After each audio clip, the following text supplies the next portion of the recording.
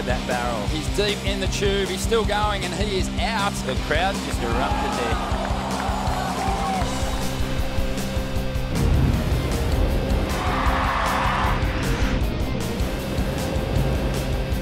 It's just so nerve-wracking when you start getting that kind of self-doubt. You really don't want to be in that headspace out there.